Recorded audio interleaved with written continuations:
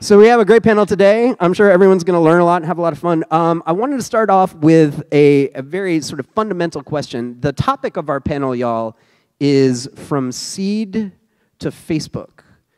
And I wonder if y'all could talk about whether you think at this juncture, Facebook or a company like Uber or any one of these big unicorn companies is the right model for an entrepreneur to pursue or, or an ideal for a company to for an entrepreneur to go after? Or whether there's a better framework that's yet to be discovered or something else out there? People shouldn't compare themselves to facebook. They should be their own thing.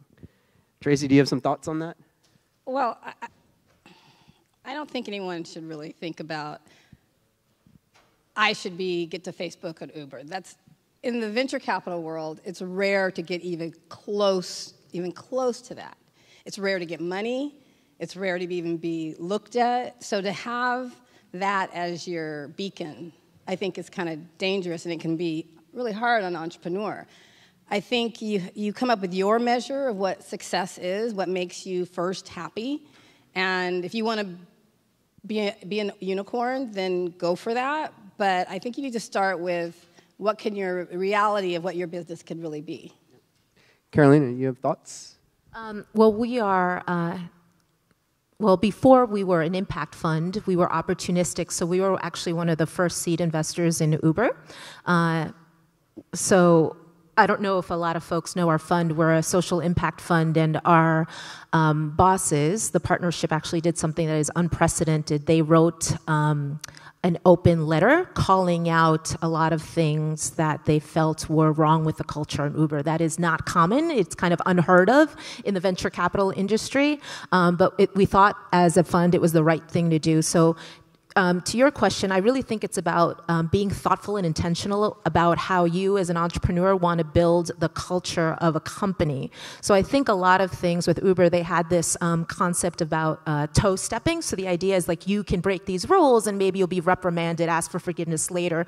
I think it got to a point where it it was. Uh, it created a toxic culture that wasn't inclusive of, of a lot of folks, and we see all these lawsuits coming out. Um, when the open letter went out, um, it also had a positive tone, like here's an opportunity for you to learn and, and change. And I think now, as we were reading in the news, Uber actually came out with a, a seminal uh, policy in that uh, right now, folks who have been harassed or suffered sexual assault are no longer forced to go into arbitration. At this point, um, they have agency and they can choose to go to arbitration, mediation, or actually take it to an open court of law. Uh, and now Lyft has followed. They also now have put in place um, no longer, if you settle um, through a sexual harassment suit with the with a firm, that you have to sign a non a confidentiality agreement. So. I think it's important to take right. note that I am hopeful and optimistic that companies can change, but ultimately, it really is important for founders to think about um, building a culture that is the one that they want to um, be remembered for. How early does that start, Andy? Like for you, when you thought about how you wanted Wonder to be as a culture, and when you were thinking about the kinds of investors you wanted to back the company, what was that? What did that process look like to you? And and how does intentionality at the beginning help one get from, from say, a seed stage company to uh, something that, that may be of the scale of Uber and Facebook, but perhaps better actors in a community? Yeah, I think that, you know, I, I never think about things in terms of how big can it be. You know, maybe at this stage of my career I do, but when I started, you know, this is my fourth company that I started. And I, I started my first one in high school in Argentina at a time where, you know, we didn't have the information or the resources or the tools or the network that, that we do have now or that I have now as well. And for me, it was a combination of opportunity of an idea of this something that people want and that could be interesting, not thinking specifics about like how big it can be in terms of revenue or, or size, but there's a lot of people that would love this and it's something I'm passionate about, something I'm excited about, right? Because when you're doing something as an entrepreneur, you want to have passion and conviction to be able to really overcome all the barriers that you're going to have, right? So what I learned over the years is, you know, at the beginning it was, okay, how do I, anything that helps me get it, it's fine. Whether it's somebody who wants to work for free or somebody who wants to write any sort of check, somebody who wants to buy some advertising on my website. You know, my, my first company was a music website in Spanish, like when There was no music websites in Spanish. So anybody that wanted to do anything with us was great, and it was new, and I was learning. Now with this company, after you know, starting a few different companies, having exits, dealing with all kinds of different investors, now I had a bit of more of the, the experience and the luxury to say, this can be really big. What do I need to get there? How do I get the most strategic investors? It's not about just getting money, but it's how do I, how do I get people who are going to understand how do I build this product? How do I build our marketing, our brand, our team? How do I get people who are really going to get the same idea that I'm getting to, to, to do it? And the good news, what's interesting today with, with the resources we have is that those people are out there, right? So you can, you can find people, even though you may not know them, they're on social media, they're online. And so you can find ways to try to reach out to the people that you feel are aligned with the way you think. And that is probably the most valuable resource before money. It, I, I, hear what you're saying, but you also have the benefit of being a serial entrepreneur who's done pretty well with some of your other companies. So it, it, you know, it's not like you're knocking on the door for the first time. Tracy, when you think about that entrepreneur who is knocking on the door for the first time, can is it that easy to just holler at someone on linkedin or, or like tweet at them and say you know hey i've got this great idea and our, our message is totally aligned and you know i didn't go to harvard and i didn't go to stanford and i don't have that background but i have an amazing idea you should fund me is it that simple or well um, silicon valley silicon beach silicon whatever you, whatever it is um, they say it's a meritocracy but it really isn't because there are structural and systemic barriers for certain segments to really rise above. So if you're a woman or a person of color, it's not as easy as it sounds to get capital. Capital is the most difficult part of growing a business. And for a lot of people of color and women, they don't have the friends and family to tap into to start your business. That's how a lot of entrepreneurs start your business friends or family, right? So, um, and then the venture, and you go further, you know, angels, that's still a network of predominantly white men that is hard to get into. And you get into venture, seed, and then you get into your Series A.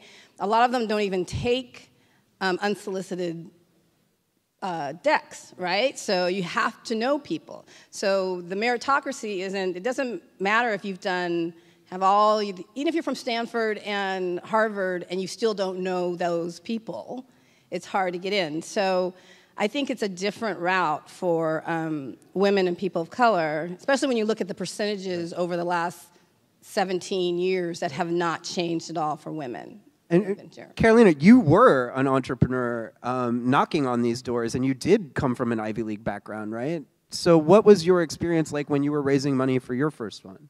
Um, I think a lot of it was also my mindset, right? I think there obviously are systemic issues, um, but there's also language that you may not know about um, or how to kind of present yourself. There are a lot of things that I did wrong, so I'll, I'll definitely uh, I think part of my job now is telling people what not to do because I literally did everything um, that you are not supposed to do. Um, but I think when I first went into pitching, my mindset was that these folks had some type of power over me, that I didn't have a superpower. And I think once I changed that mindset, that I also had value or value to give to this investor, like I knew a sector better than they did that they may have been investing in, then my mindset actually shifted to what Andy was talking about, reaching out out uh, and connecting with people on Twitter and developing uh, relationships online, which then I took offline. Um, but I will tell you, uh, I remember going to a demo day at, at a, well, I was just going to name the company. I will not name just them. throw it out. Do it. Name may, names. May, may have two O's in it. Um, Does it rhyme with schmoogle? So yes, yeah. um, walking into a demo day there, someone handed me a plate. So let's think about that. The way I look, they handed me a plate they assumed that I was a caterer, that I cleaned there, and that is a reality. And for us not to, to say that that doesn't exist um, would, I, I, would be disingenuous. Your mindset can't change the way you look yeah. on the outside. Exactly, can't but, change. Yeah, no, for sure. But but so like with that in mind, Andy, how does how did how did you go about changing your mindset to say like I have value and people need to think about me because really the venture relationship actually depends on putting capital to work and good entrepreneurs who will make them money. They don't have any sort of like benefit to people unless they are choosing good entrepreneurs who have good returns. So how do you convince a VC Well, that you're the guy to back? And I agree with what both of you said. I think the way, and I've learned this also by, by trying and learning, and, and, and you know, no matter how good your idea is or how connected you are, you're going to have a lot of rejection. I get 90% of the people I talk to about what we're doing now rejected us, and some of them don't, right? And it, it always gonna, it's always going to happen no matter how big you are. Um, you know, and I think that the, the mindset that you have to do, right? If you, if you tweet somebody and you're like, hey, uh, can you invest in my company? Or here's my deck or something, no matter who you are, they're gonna probably going to reject you because they'll be like, okay, you're kind of a little desperate or there's no context, right? The way that I've approached things in my life and the way that I see people approach me now, because I, you know, when people approach me about something, it's a little different, right? And it's this idea of, you know, first of all, it's what we're doing now with our company, which is we try to find people that have context with what we're doing, right? Somebody who, like, we're working on stuff around gaming or entertainment, so it's like people who I already know they care about what we're doing. It's not somebody who's like completely, you know, in another subject who's call, not yeah, gonna get. Yeah, so I talk to somebody who I know cares about this, and I say, hey, we're working on something cool. I would love to show it to you. I want to see what you think. I would love your advice. I'm, I'm a fan. Whatever it is that gets me to that person to be perceptive. If it's on Twitter, I may not even reach out directly. I may look at, you know, if they're tweeting about something in that subject, I may reply and be like, oh, yeah, this is what I think about it. And you try to find an organic way to get in as opposed to, you know, I want money, right? Because every time that I, that I went and, and I, you know, and it happened to me when I started this new company, we, you know, I didn't know what we were doing exactly. Um, and we were trying to figure out, we had some ideas. And I started reaching out to people. And I reached out to people, I'll give you an example. I went and, speaking of far and culture and somebody who didn't know who I was and didn't care about my background, I ended up finding a way to meet with the founder of Sega. For anybody who's gaming, founder of Sega. This 80 something year old Japanese guy. So I was in Japan and I found somebody who was able to get me in a room with this guy. And I went and he had his translator and he was there and he had no idea why I was there but he he understood he understood what I was trying to do, understood my passion, understood that we had things in common. I was a fan. Like my my 13 year old self would have ever ever dreamed to be in that room with that guy, but I went there just because I wanted to meet him, and he, I left with an investment from him without really wanting that, right? And it's, and it's because he got where what I was, and so that I think that's the biggest thing is to try to find that common ground and something that could get you in. Um, that really resonates with me because I often think people think of us as, uh, like myself, as a piggy bank. Um, and when people are seeking venture capital, it's actually to accelerate the growth of the business, not necessarily to start the business. Um, so one thing that I took away from what Andy said is not to be transactional, but actually to build, regardless of like what you may look like your background, people have things in common. So make sure that you build relationships with people, and that is like when that kind of mindset, when I got to that, um, doors were opening much more easily. I'm not going to say by any way that they still weren't difficult, but that level of changing my mindset and reframing how I saw the relationship between investor and entrepreneur was really important for me. And, and people should realize that investors are people too. Like we have emotions, we have things we care about, and we are really investing in the people almost before the idea. So you can have, as you will hear from any other investor, you could have an A idea and be a C team, and we won't invest in you. But if you're an A team with a B minus B idea, then they're more likely to invest in you because it's, it's more about the person and what they're going to what they're going to be able to do with that company. Well, and y'all all invest pretty early. Andy, you're a seed stage investor as well. So I'm going to give y'all all his email address after, and you can hit him up for. No, I'm. I'm I don't invest early. no, uh, uh, uh, Meet but, us. But, but, but for, for if, if you are, are a first time entrepreneur, you don't have a track record, and you're coming from one of these um, on, non-traditional, let's call them backgrounds, right? Which is which is really like most of the people in the world, because that that most of the capital that Silicon Valley allocates and other Silicon named places allocate, they're allocating to people who come from Ivy League schools or private schools or whatever. Um, if you don't have that, what can you, what do you as investors look for to make that, that, that classification of, oh, this is a good team? If they don't have like an imprimatur from Stanford, if they haven't necessarily been, you know, um, been a Google employee or Schmoogle employee or whatever, um, like how does that work? And Andy, if you want to take that, and then we'll move to later stage stuff too. I mean, I, I think again, I think it's you try to find some way to demonstrate to the persons, who, the people you want to talk to, that you're smart, that you know what you're talking about, that you have something of value to give, right? And find some way of, of having that connection. And, you know, and then, and then once you are able to prove yourself, then you're, you know, because what I say to people now, so, you know, I had terrible grades. I dropped out of school. Like I wasn't, I, that was never my thing. And I, and I remember my second company, when I partnered with some kids that had graduated from Harvard Business School, like they had the world, you know, any, it was the first time I went to Silicon Valley was when I had them because we could get meetings with anybody and I couldn't get those meetings before and I had able to still build a company and sell it before that on my own, right? And, and, and that was because it was, I was not really worried about those things. I was more worried about, okay, this is what I'm trying to accomplish. Who are the people that can do this, and how do I find a way? And I got, like I said, I got rejected. I got kicked out of offices, and people were like, you know, get out of here. Like, you're, you're, I had, you know, I was 18, right? Like, I went through a lot of that stuff, but it only takes one or two people that right. will willing to listen, right? So yeah. I think it's you have to you have to be confident, you have to not be afraid, right. and you have to try to find that common ground. Now, there are other sources of capital than these traditional um, VCs that I've been talking about. And Tracy, you're trying to raise like a $100 million fund to be an alternative to this sort of way of doing things, which is amazing. I think y'all should all like, like let's give you a round of applause for that. It's amazing. I think people people are afraid to ask for the amount of money that people actually need to make those kinds of funds work. And and with Kapor Capital as well, like y'all are y'all are creating an alternative to this ecosystem that has existed for a long time. Now, um, what do you want to see in an entrepreneur coming to you uh, that shows that they're prepared, that they are part of that that A team that can make a business work? What do you what are what are your criterion? Revenue? Well, like, is yeah, it that simple or there there are standard simple things we, we want to see. Um, I, I, so I'm also an executive in residence at the Los Angeles Clean Tech Incubator, so I see really early companies.